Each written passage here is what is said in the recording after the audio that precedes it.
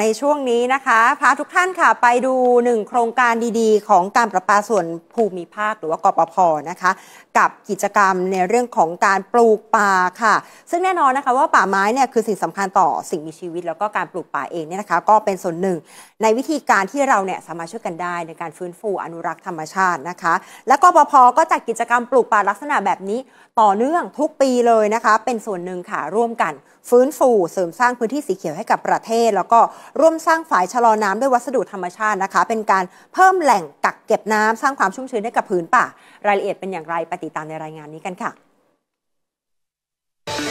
การปราปาส่วนภูมิภาค หรือกปพได้น้อมนำและสารต่อพระราชปณิธาน ของพระบาทสมเด็จพระบรมชนากาธิเบศรมหาภูมิพลอดุลยเดชมหาราช บรมนาถบพิตรด้านการอนุรักษ์ทรัพยากรป่าไม้ ผ่านการดำเนินโครงการกปพปลูกป่าเพื่อแผ่นดินเถิดพระเกียรติพระบาทสมเด็จพระบรมชนากาธิเบศรมหาภูมิพลอดุลยเดชมหาราช บรมนาถบพิตรมาอย่างต่อเนื่อง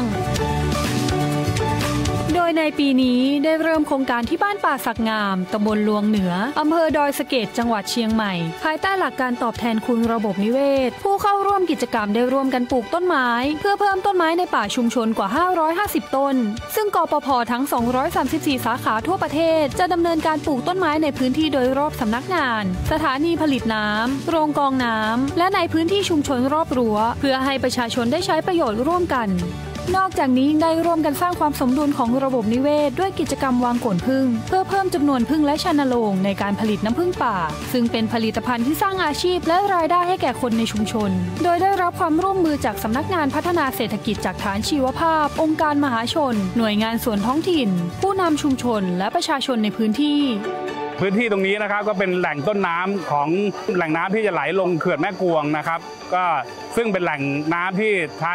ผลิตน้ำประปาให้กับพื้นที่ในจังหวัดเชียงใหม่ แล้วก็เป็นต้นน้ำที่ลงแม่น้ำปิงไหลไป